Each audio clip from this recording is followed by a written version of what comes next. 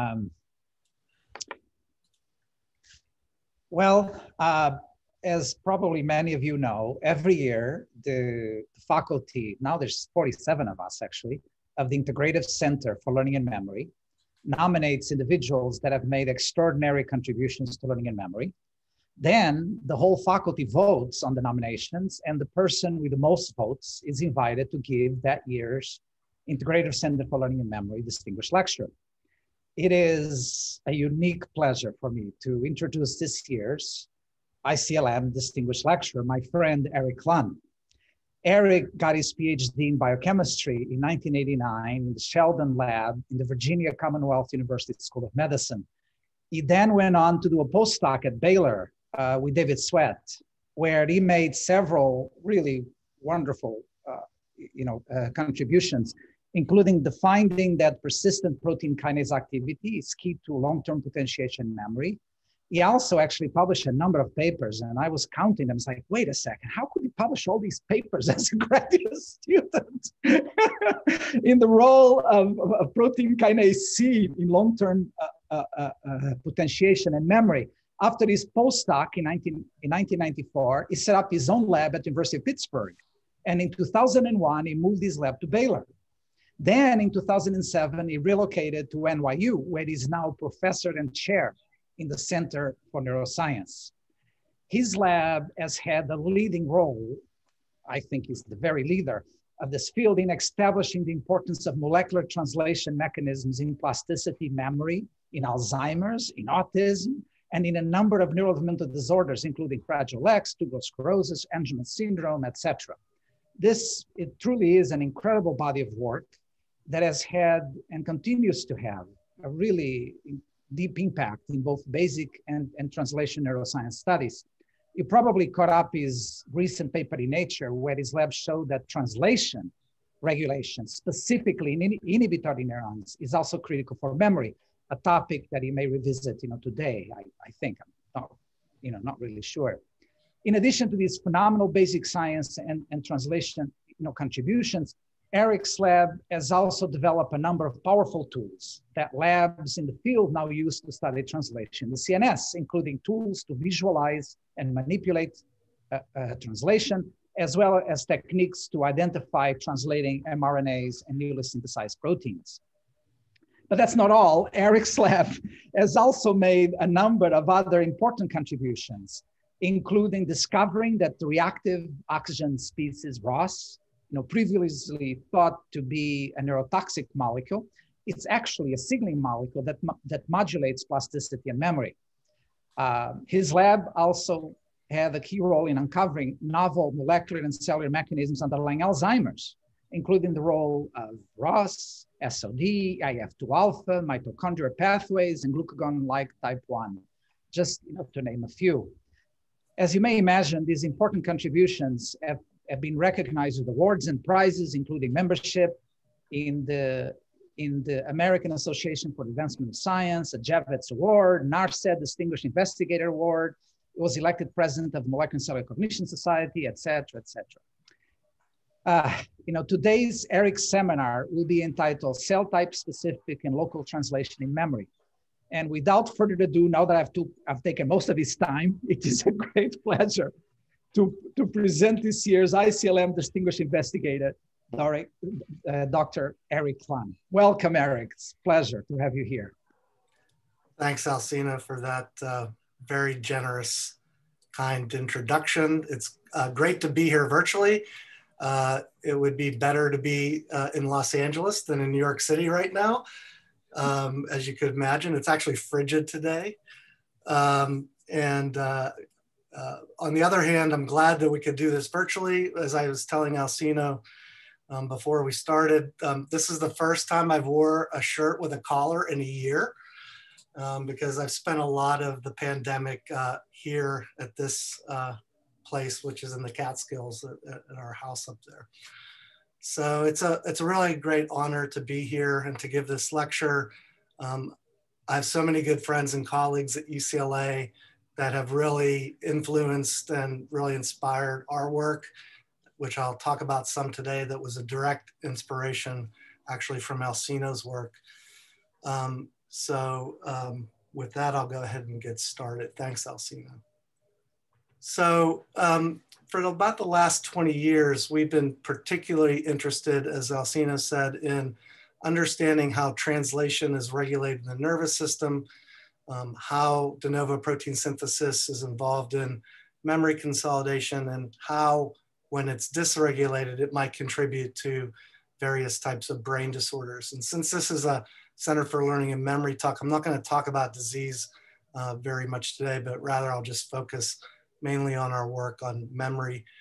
And we've been interested in translation in the context of memory because it's been known almost 60 years now that in order to convert short-term memory to long-term memory, one needs to have de novo protein synthesis. And so um, we have studied uh, protein synthesis in this context for a number of years, and we focused on translation initiation, which is the rate limiting step in protein synthesis. So most of you probably uh, are aware that for many years, people have used compounds like cyclohexamide and anisomycin to disrupt memory consolidation for various reasons. Um, and both of these um, drugs target elongation and not, um, not initiation. Okay. So I'm going to talk about two modes of translational control at the initiation step today. Um, the first is um, EIF2. So EIF2 um, is a, a, heterotrimer that has alpha, beta, and gamma subunits. It, this is a complex that's um, required to bring the initiator transfer uh, RNA to the ribosome. Uh, and it does this in a GTP dependent manner. And once this uh, occurs, it forms what's called the 43S pre-initiation complex, um, which is shown here. The second step in translation initiation is the bringing of this complex to the messenger RNA, which is promoted by a complex called EIF4, which consists of EIF4E, EIF4G, and EIF4A. Um, EIF4G is a scaffolding molecule, EIF4A is a dead box helicase, and EIF4E is what binds to the 5' methylated cap of the messenger RNA as shown here. And although this is not absolutely required for translation initiation, it's thought to be um, necessary for gene-specific translation, particularly of messenger RNAs that have uh, long and, and complicated 5' UTRs with a lot of secondary structure, because the dead box helicase then can unwind the superstructure and allow the ribosome to start the codon so the elongation can begin. Now this step is um, regulated by this very complicated signaling cascade. Many of you are familiar with um, this kinase mTOR. Uh, when it's in a complex with Raptor, it's known as mTORC1. And this is um, what controls much of uh, EIF4E dependent translation. So mTORC can phosphorylate a translational repressor known as 4E binding protein, which normally binds to and suppresses EIF4E mTORC1 also um, phosphorylates and activates a kinase called P70S6 kinase or S6K1, which has multiple substrates that are involved in both initiation uh, as well as translation elongation. So activation of this um, complex gives rise to translation initiation by, by both of these pathways. I'm not going to talk about um, S6K1 signaling, although we do a lot of work on this in the context of, uh, of Fragile X syndrome. So um, you're probably familiar with the compound rapamycin, which disrupts this complex. So rapamycin, it's bound to FKBP12, will prevent the interaction of mTOR with Raptor and thereby limit its access to its substrates 4EBP2 and S6K1. So over the years, uh, a number of labs have shown that this pathway um, is activated in um, various types of plasticity and memory. And if you pharmacologically or genetically inhibit the pathway, you can prevent uh, long-lasting plasticity and memory.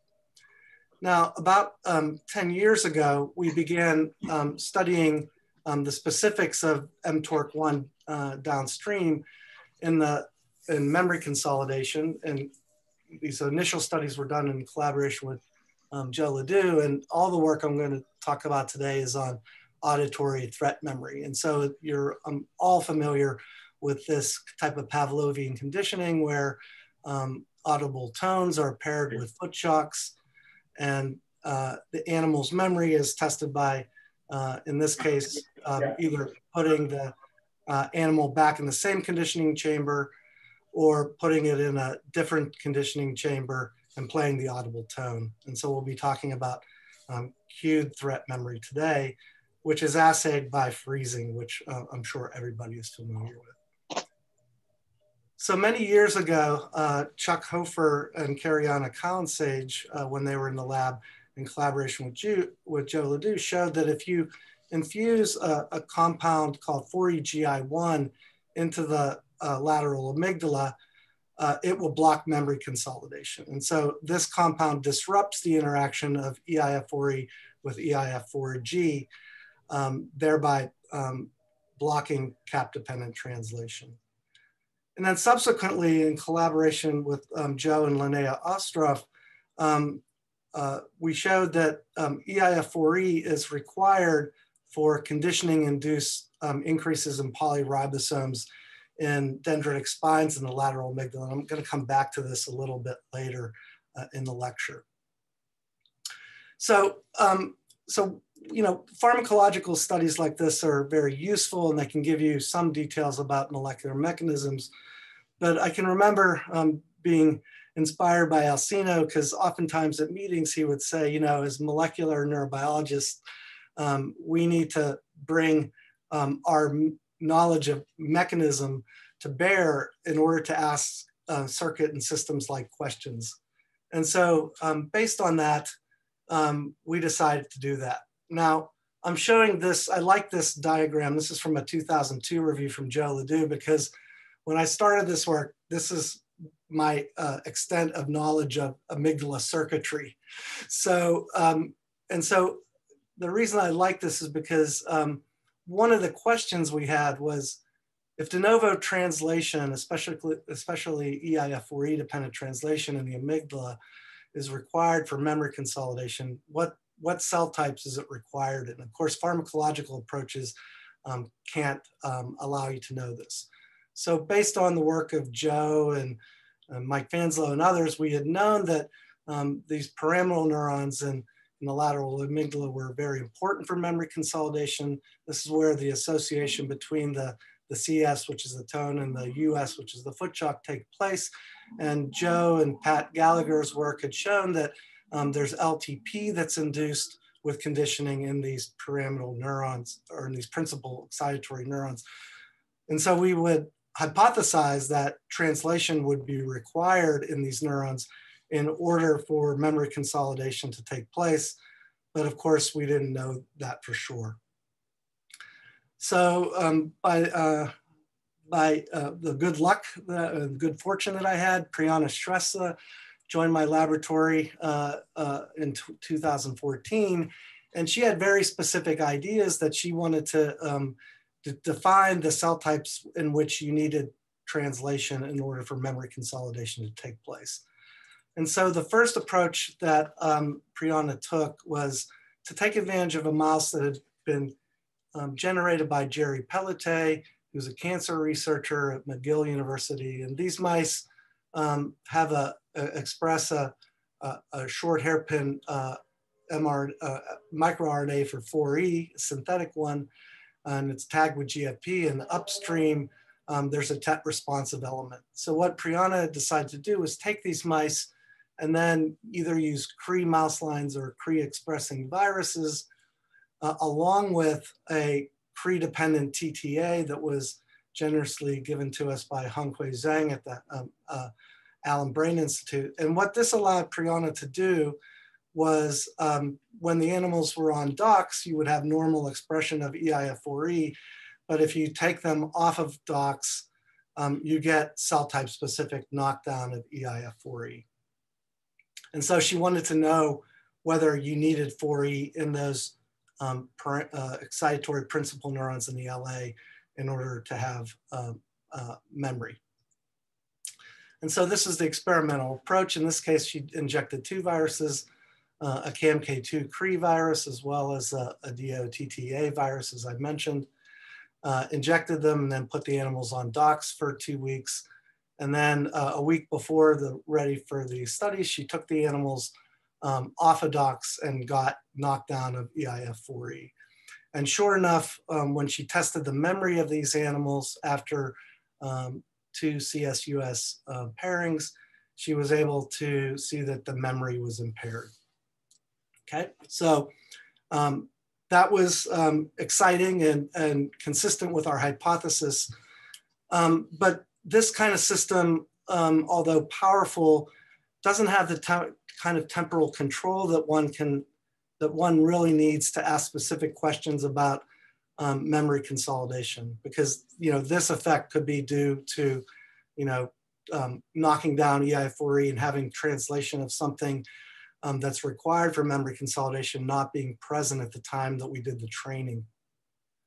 So in order to address this question, uh, Priyana had already thought about this even before she um, uh, joined the lab and she took advantage of that first step in translation initiation, which I talked about before, which is um, EIF2, which brings the tRNA, uh, initiator tRNA to the ribosome.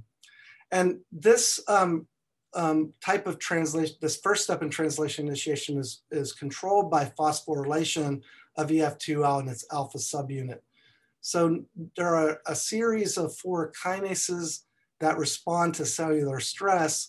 And when these um, kinases are activated, there's increased phosphorylation of EIF2 on its alpha subunit, which blocks um, this guanine exchange factor EIF2B, which puts EIF2, uh, makes it a competitive inhibitor and puts EIF2 in its GDP pound state.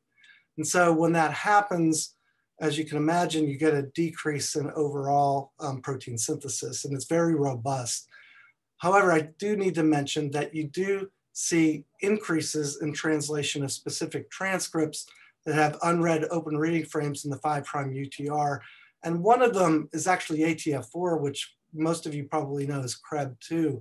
And so in addition to blocking protein synthesis with EIF2 alpha phosphorylation, you may also um, be blocking CREB-dependent transcription with increased expression of CREB2. Okay. And uh, there are two phosphatases that are responsible for dephosphorylating EIF2. CREP, which is a constitutive um, uh, regulatory subunit of PP1, and GAD34, which is actually induced um, by EF2 alpha phosphorylation. So it's an inducible regulatory subunit of PP1, which is required to then um, feedback and dephosphorylate EIF2 alpha.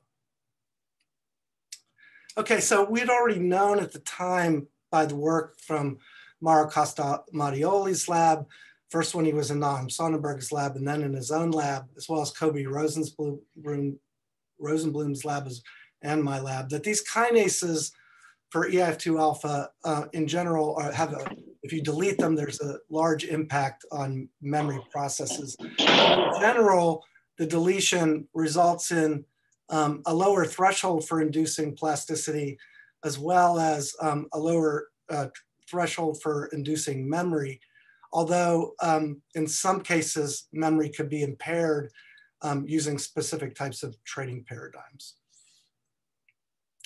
And just to uh, emphasize the point, over the years, it's been demonstrated by a number of labs, including our lab, that uh, in both humans and in mouse models of neurodegenerative disease, one of the hallmark features actually turns out to be a chronic increase in EF2 alpha phosphorylation. And if you prevent this phosphorylation either pharmacologically or genetically by targeting these kinases, you can alleviate uh, the memory impairments that take place uh, in these uh, animals. So based on this, um, uh, Priyana uh, decided to um, manipulate the system by generating uh, a PKR construct um, that has the kinase domain only, but it still can dimerize and be activated. Oh, and I should mention one other thing. There's a compound um, called IceRib which activates EIF2B, which is this GAB. So this prevents the consequences of EIF2 alpha phosphorylation. So it promotes the putting EIF2 back in its GTP bound state.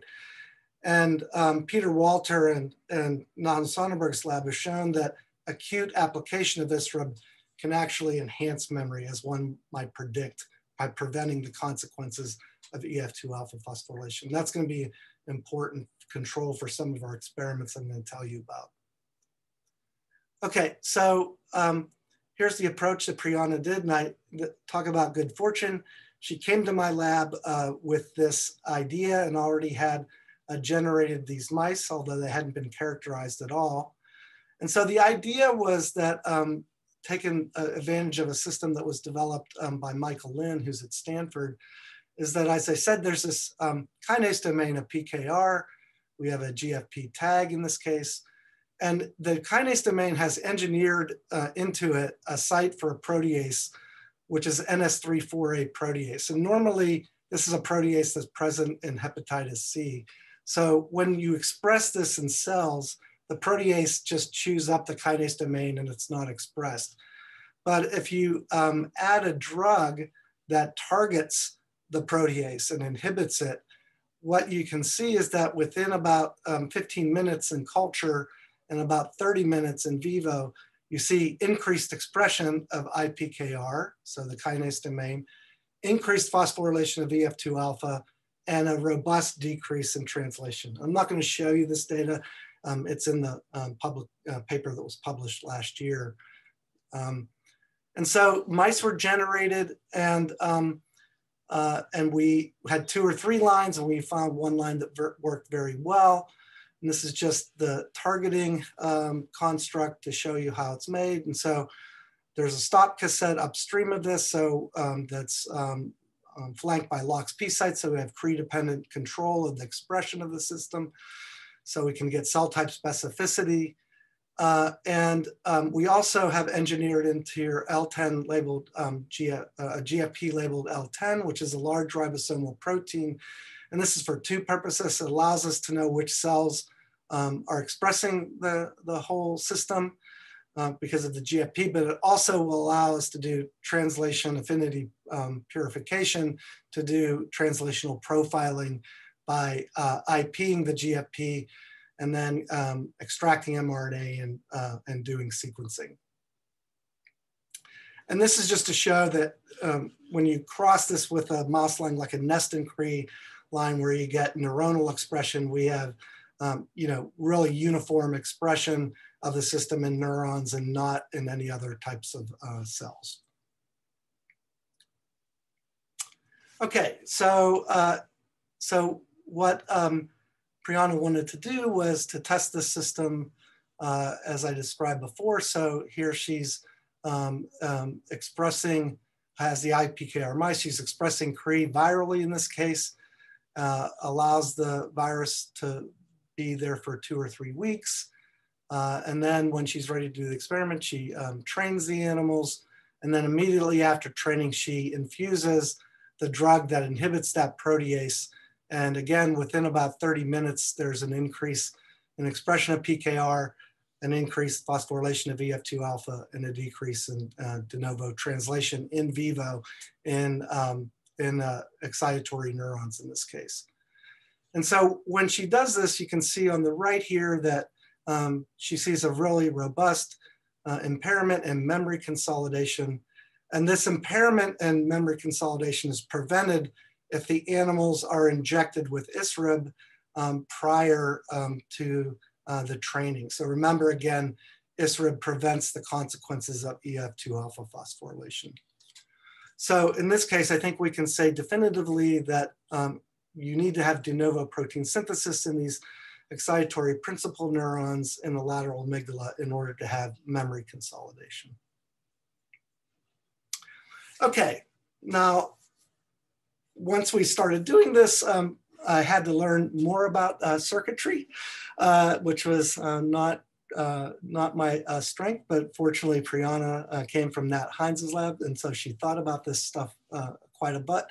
And one of the, the striking things about the amygdala system is that um, to me is that there's um, many of these nuclei that are subnuclei that are present in the amygdala um, can either uh, promote fear or dampen fear, and it depends on the cell types that are specific, uh, that are uh, that you're looking at uh, in the system. And so many people have contributed to this type of work, and especially Andreas Luthi's lab. and so um, we were particularly interested in the central lateral amygdala. It re receives input from both the lateral amygdala as well as the thalamus and the cortices. And um, we were interested in it because um, Joe Ledoux's lab a number of years ago had shown that if you inactivate uh, the central um, uh, amygdala with muscimol, it will prevent um, um, acquisition uh, uh, and consolidation of memory. And moreover, he showed that if you train the animals and infuse anisomycin into the central uh, nuclei of the amygdala, um, you can prevent uh, uh, memory consolidation. So there was evidence that protein synthesis was required in this nuclei. Subsequently, Andreas Luethi's lab um, narrowed this down by showing quite specifically that if you inactivate the central lateral amygdala, with muscimol, you can prevent uh, um, uh, um, um, memory uh, formation. So we knew that this was important for the acquisition of memory. Now this is an interesting nuclei because um, the majority of uh, neurons in the central lateral amygdala are inhibitory neurons. Um, and uh, I would say most of them are either somatostatin or PKC delta expressing inhibitory neurons. Now, that they're not exclusively these types of neurons. There are other types of inhibitory neurons in this nuclei. And what's interesting is that um, the, the somatostatin inhibitory neurons are thought to be uh, threat on or fear on neurons. So they normally inhibit these PKC delta neurons, which are the output uh, to the central medial uh, amygdala.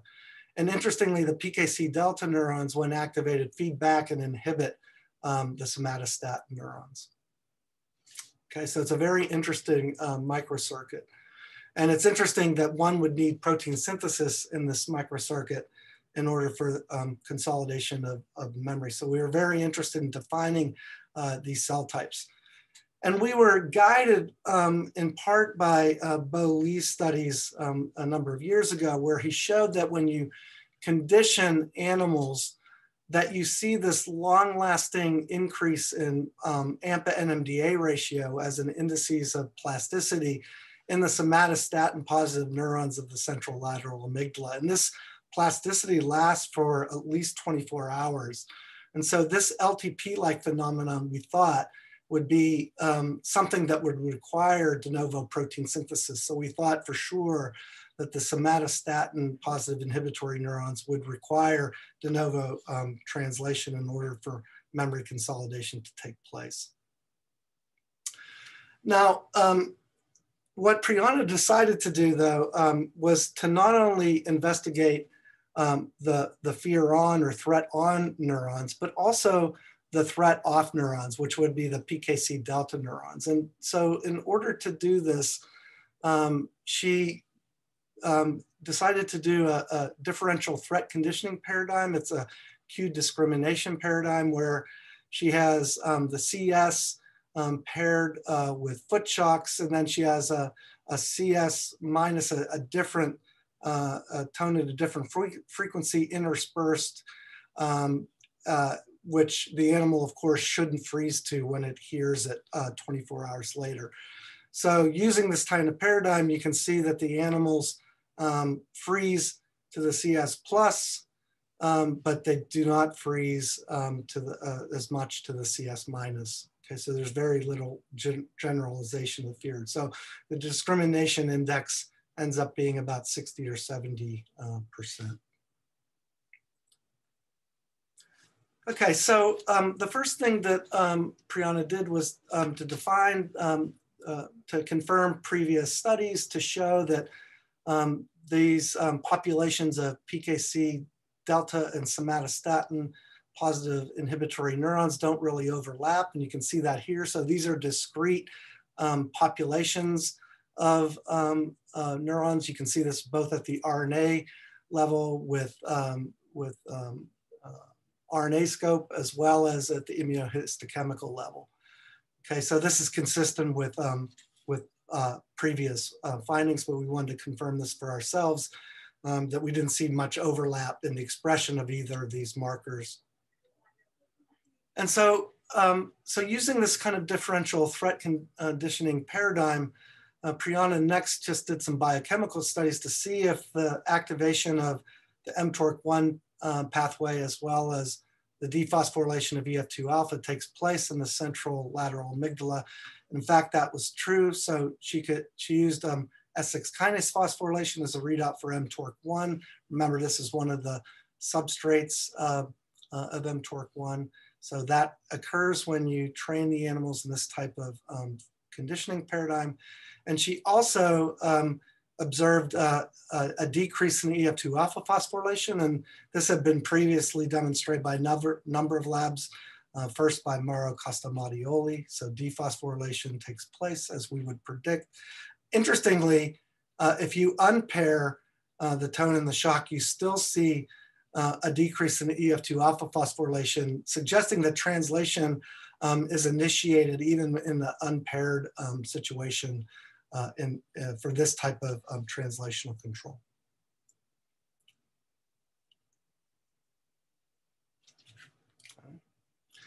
Okay, so um, so then uh, Priyana developed a, a, very nice technique um, in which she was able to label newly synthesized proteins in vivo using uh, puromycin as a label. This is known as uh, sunset, and I won't get into the um, um, to the uh, mechanism by how this happens, but I'll just say that it's a way to label newly synthesized proteins. And so I think what you can see here is when she um, does this type of um, differential threat conditioning, she can see nice, robust increases in de novo translation in the central lateral amygdala. Now, in this case, we don't know which cells um, this is occurring in, but I can tell you that in subsequent um, studies, we see this increase in both the somatostatin and the PKC delta um, inhibitory neurons using this paradigm. Okay. So, um, so the first uh, thing she, uh, um, uh, the Priyana did was to take uh, those um, mice from Jerry Pelletier that I mentioned before and cross them with either somatostatin Cre or PKC delta Cre line as shown here, and then um, inject a Cre-dependent TTA uh, into, the, um, uh, into the central lateral amygdala to get knockdown of EIF4E. Sorry. And uh, this is just to show you that um, we about, in, in, both cases, we get about um, expression of this uh, short hairpin microRNA for 4E, uh, we get expression in about 50% of the somatostatin inhibitory neurons and about also uh, with the PKC delta neurons, we get about 50% using these uh, Cre lines. And that um, results in a, an effective knockdown of EIF4E. So we see um, significant knockdown of EIF4E in both in the somatostatin uh, uh, um, positive neurons using a somatostatin Cre, and then the PKC delta neurons using the PKC delta Cre. And then consistent with that, we see uh, in, uh, a decrease in de novo translation in both the somatostatin uh, neurons when we knock down uh, in 4E uh, in those neurons, as well as when we knock down 4E in the PKC delta neurons. Okay, so the system works as we expect. And so um, when we do the differential, uh, when Priyana did the differential threat conditioning paradigm, what she saw was that, um, as we would expect, when she knocks down EIF4E in the somatostatin positive neurons, there's an impairment uh, in memory uh, um, and freezing for the CS with no impact on the discrimination. So even though their memory is impaired, they still can discriminate between the CS plus and the CS minus. However, um, when she knocks down uh, EI4E and the PKC delta neurons, there's no impact on freezing to the CS plus, but uh, the animals um, can no longer discriminate between the CS plus and CS minus. So their safety response is inhibited, um, suggesting that you need de novo protein synthesis uh, in, in the PKC delta neurons for safety uh, conditioning.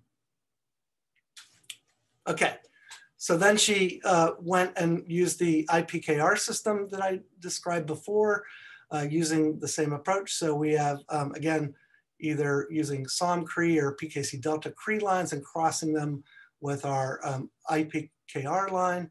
Uh, and we can do the same type of experiment where we then can train the animals and immediately after training infuse the drug into the central uh, amygdala. And using this, we uh, see the same types of results. I'll just draw your attention to the lower left. So when we uh, um, decrease um, protein synthesis via increased EF2 alpha phosphorylation uh, in the uh, somatostatin inhibitory neurons, um, there's an impairment in the uh, consolidation of the memory, but no impact on the um, um, discrimination memory. Whereas if we um, increase EF2 alpha phosphorylation and decrease translation in PKC delta neurons. There's no impact on the memory for the CS plus, but there's an impairment uh, in their um, discrimination uh, to, for the CS minus.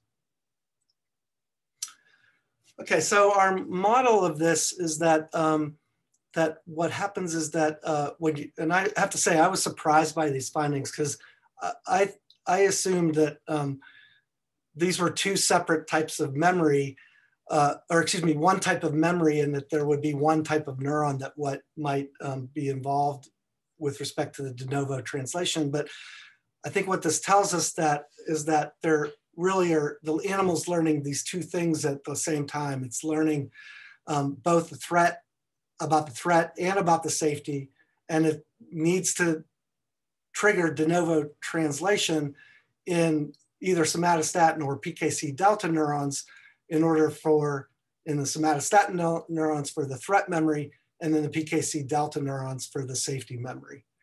And so I think it's um, quite interesting that um, a translational um, response is required in two different types of neurons for two different types of memory that are being formed uh, at the same time.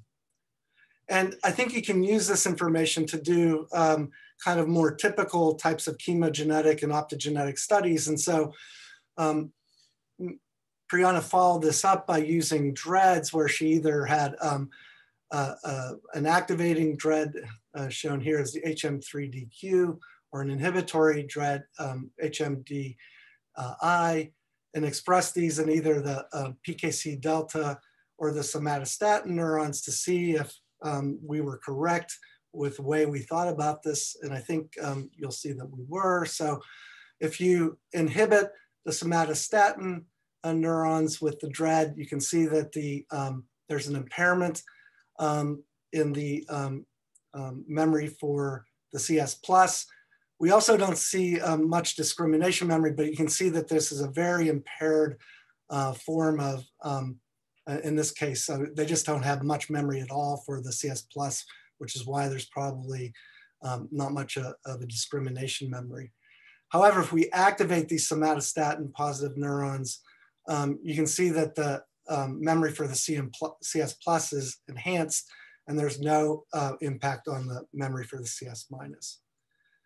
And when we do this in the PKC delta neurons, you can see that um, when we inhibit these neurons, there's no effect on the memory for the CS plus, but there's a, a, a complete impairment uh, for the memory for the CS minus, which is shown here.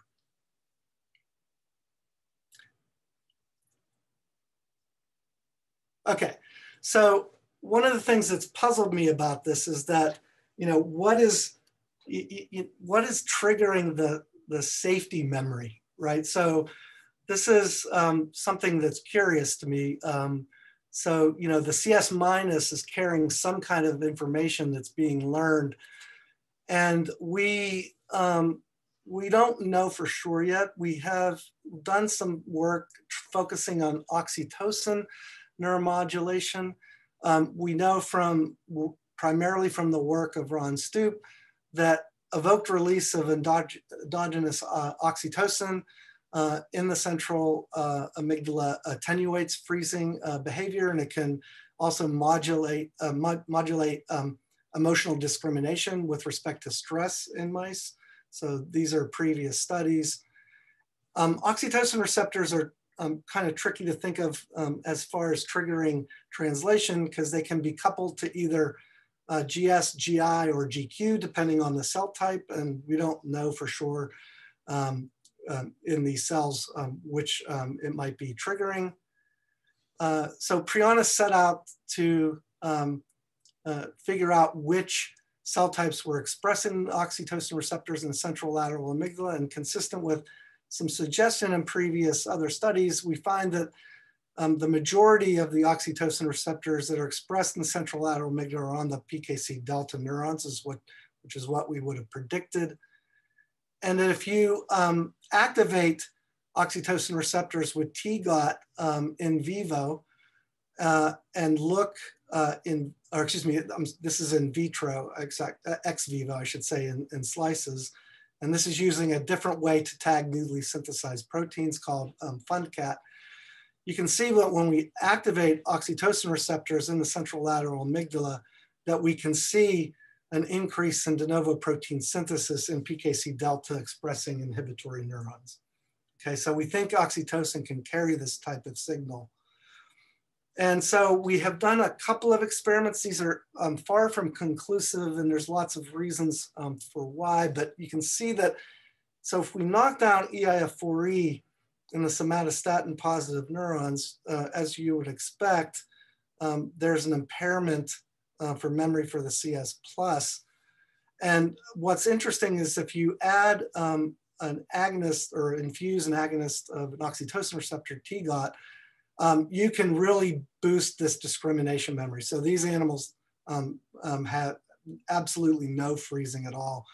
Again, suggesting that oxytocin acting on those PKC delta neurons, perhaps through translation, is what's um, um, triggering this increase in um, um, the safety memory.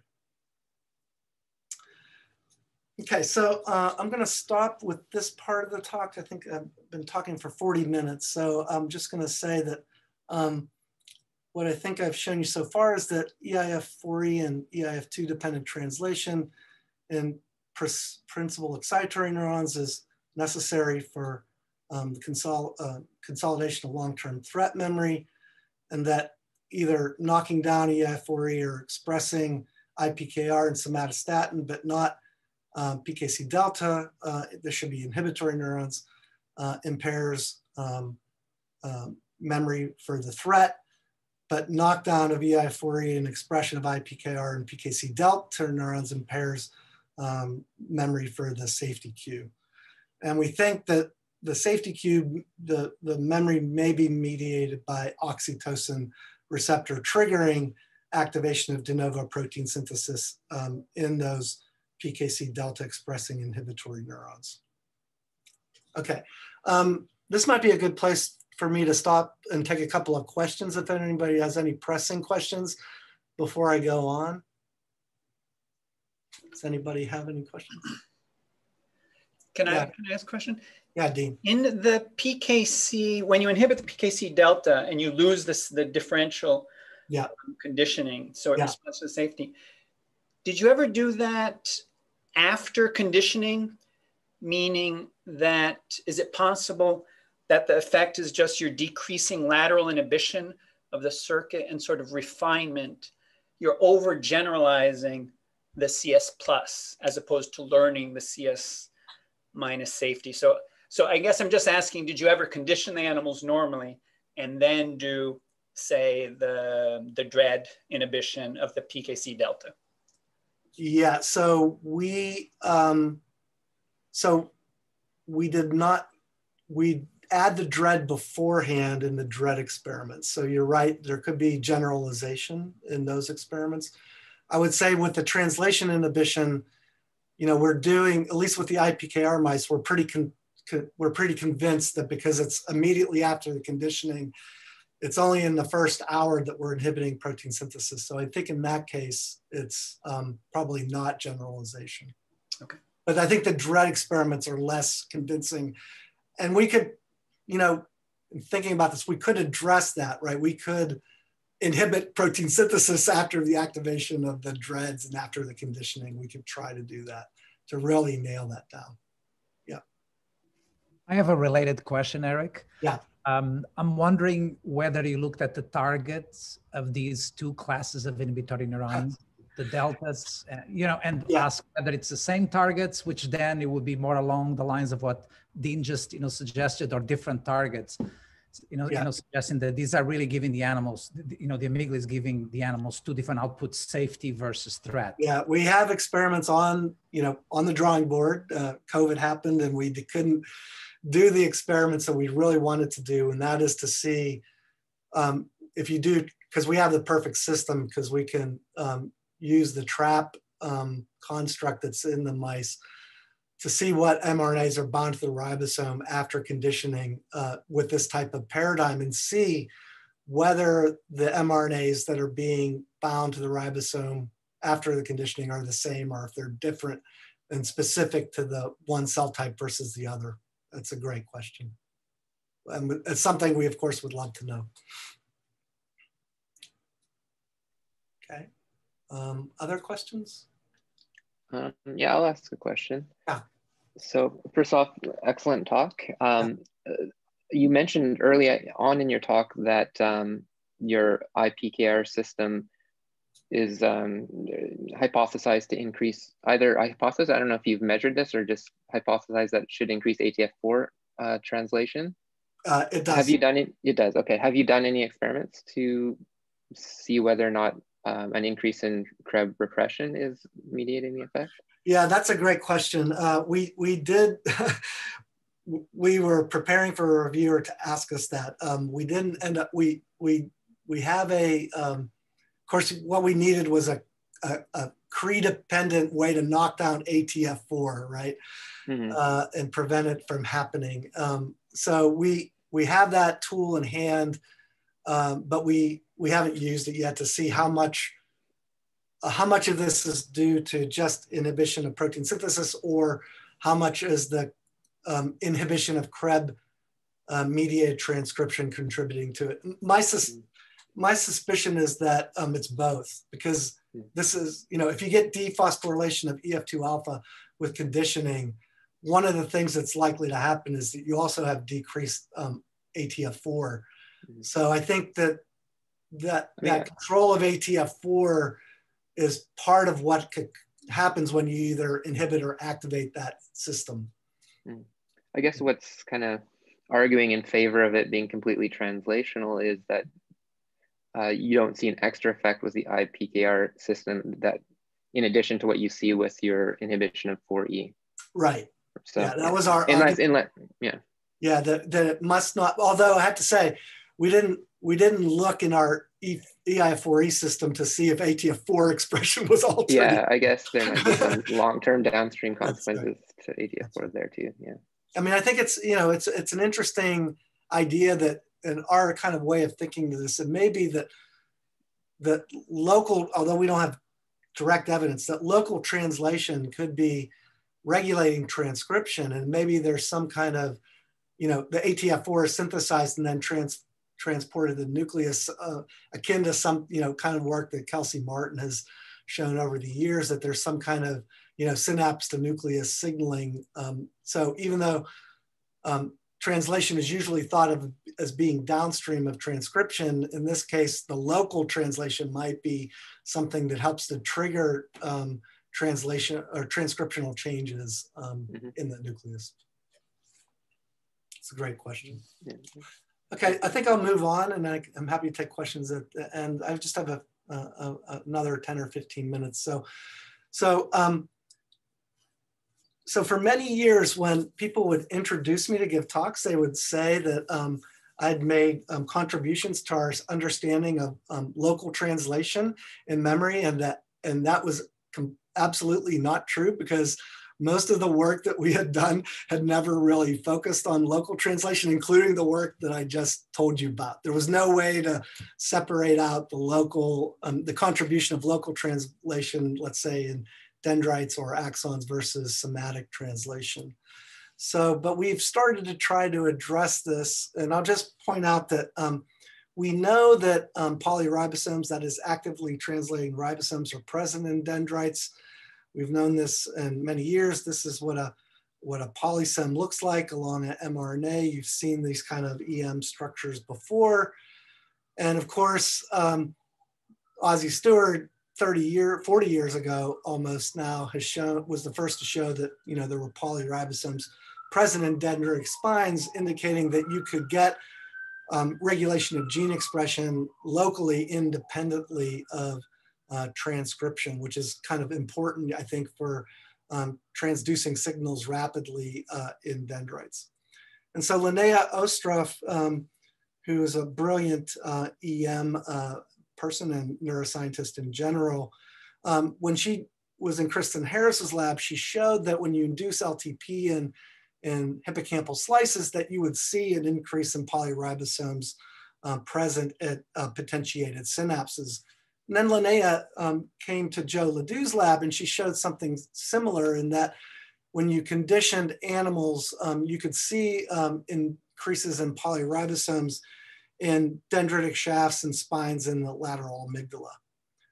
And so um, Linnea um, began collaborating with um, Chuck Hofer, who was in my lab at the time. And, and remember, EIF4E is required to bring the mRNA ultimately to the ribosome. So if you prevent EIF4E from doing that with a drug like uh, 4GI1, you would predict that you would um, um, um, prevent perhaps conditioning induced polyribosomes. Uh, and so they did these experiments where they infused 4GI1 or a vehicle into the lateral amygdala um, um, after um, threat conditioning and then did, seri whoops, did serial EM constructions. And sure enough, they showed that, um, that there was um, these condition induced changes in the polyribosomes um, were blocked by um, preventing EIF4E from uh, bringing the mRNA to the ribosome.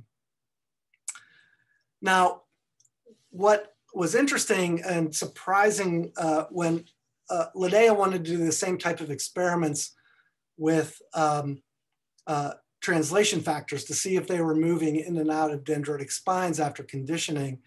And so she was doing immuno-EM and what she found was surprising in that she could see uh, occasionally, she could see a polyribosome in a, in a presynaptic terminal. You don't see these very often, but you do see them occasionally.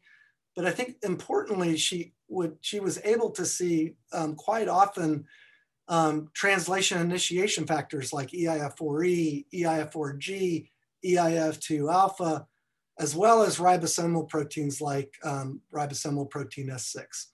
So there's protein synthetic machinery, and these are in adult axons. And I think now it's not so, um, you know, in the last four or five years, there's been nice studies from Christine Holt and Aaron Schumann's lab um, showing that there's likely to be uh, axonal translation even in adult um, presynaptic um, terminals.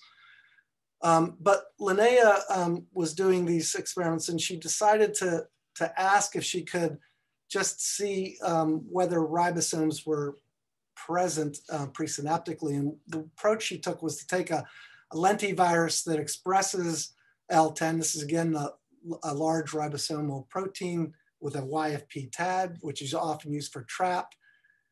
And so she can uh, she infected this in, uh, into the uh, auditory cortex. She could localize this, of course, with an antibody.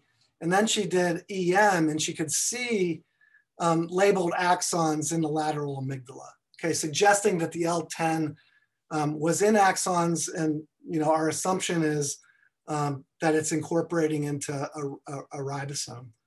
And so if that's the case, then the question is what, what mRNAs are they translating? And so because this is the trap approach, um, what Linnea decided to do was, again, transfect the animals, then train them, and then 90 minutes later, dissect out both the cortex and the amygdala and do both um, uh, uh, RNA sequencing for both the tissue transcriptome as well as the um, translatome in both the cortex and axons. And I'm not going to get in, you know, of course, when you train the animals, you get a bunch of things that change.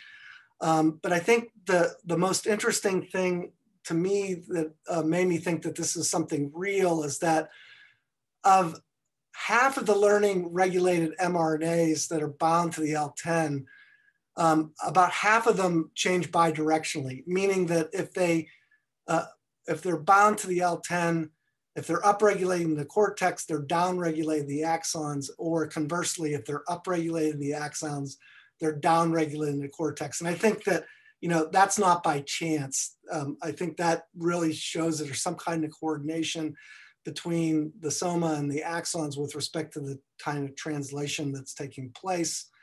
And what's interesting is that um, the things that go um, increase uh, mRNAs bound to um, L10 in the axons and that are down the cortex are translation machinery as well as mitochondria. That kind of makes sense. You might want to have that machinery um, present um, for local protein synthesis. And there's of course tons of mitochondria in presynaptic terminals. And conversely, we see a, a, decrease in the structural and cytoskeletal mRNAs that are down in the axons, but up in the cortex. Okay, so I think one of the questions, of course, is, um, is local translation actually required for memory consolidation, right? This is something that people really assume, but there's really not any great evidence for this yet. And so we want to develop ways to address this. So one way we can get at least on the presynaptic side is by viral delivery of the IPKR system so that we can get Cre-dependent protein synthesis inhibition. So we have this virus um, that works. And so you can imagine for our studies in the amygdala, we can in inject the virus, let's say into excitatory neurons in either the thalamus or the auditory cortex, and then um, get expression in, um, uh, in those neurons. And we should see um, the IPKR present in axon terminals, and then we could inhibit translation with by increasing expression of the IPKR in those terminals. This is just to show you the system works, that if we inject, this is in a somatostatin Cre, that the virus actually will infect um, the somatostatin positive um, inhibitory neurons. Okay, so that's one approach. The second approach that we've been working on, uh, which was unfortunately delayed by COVID, is the generation of a light activated 4E binding protein for uh, local inhibition. So this is a system um, that Drew Woolley has been working on for many years, and he basically has um, made a, a, a, light activatable 4EBP so that when you shine blue light on it, it um, this should be active, not inactive. When it, it exposes the 4EBP and it will bind to EIF4E. So this works really nicely in yeast, and he's already published this and showing that it works so we've put this into a mammalian expression, uh, mammalian plasmid, and we've done these experiments in HEC293 cells. And I think you can see very nicely that if we um, stimulate these cells with respect to protein synthesis with insulin, you get a nice increase in protein synthesis. And if you shine the light on those cells, you can inhibit protein synthesis by light with this light activated 4-EBP. So uh, Heather and Priyana Shrestha designed these viruses and um, we're still trying to work this out. But um, so we, we put these into lentiviruses in which we have just the, the what I just told you. We have the opto4EBP, but then we have two other variations of this. And one of them has a short um, CAMK2 3' UTR, and one of them has a long 3' uh, CAMK2 uh, UTR. And Aaron Schumann has shown that this short 3 prime UTR will limit um, localization of the mRNA um, to the soma. And whereas the long 3 prime UTR, you have predominant expression in um, distal, proximal and distal dendrites. You do still get some expression in soma. And this is just show when you use this um, type of um, approach, in, at least in cultured neurons, it works pretty well. So sorry, this was masked just so I could show you that um, you can see with the short 3' prime UTR, you don't see much expression in the dendrites, whereas with the long 3' prime UTR of uh, for CAMK2, you see really robust expression in dendrites. So we think this may be a way that we may be able to differentially um, inhibit translation in dendrites, which has been kind of the holy grail for many people. We don't know whether this will work or not. Um, we, we've tried a few experiments where we've injected it into animals. Um, we just don't um, have any definitive answers yet. So um, I look forward to um, uh, sharing that with you sometime soon. Um, so I think what I'll do is I'll stop there and thank the people that did the work. So most of the work I told you today um, was done by Prerana Shrestha, who was just a, a fantastic um, postdoc and colleague, really talented. She now has started her own lab at uh, Stony Brook. Uh, Linnea Ostroff, who I mentioned earlier, she has her, now has her own lab at the University of Connecticut. Heather Bowling, who did some of the light activated work, she's now um, scientific director at a, at a, a biotech startup company. And here's my current members of the lab who uh, have been really troopers through all of COVID. As all of you know, this has been a year of incredible challenges, um, but these people uh, make it all worthwhile. They've done a great job in keeping the lab going under really difficult circumstances where, you know, mouse breeding is limited, number of people in labs are limited, but uh, I'm really happy that we're getting close to being up to full speed and hopefully we'll make better progress in the next year. So I'll stop there and take any questions you have. Thanks.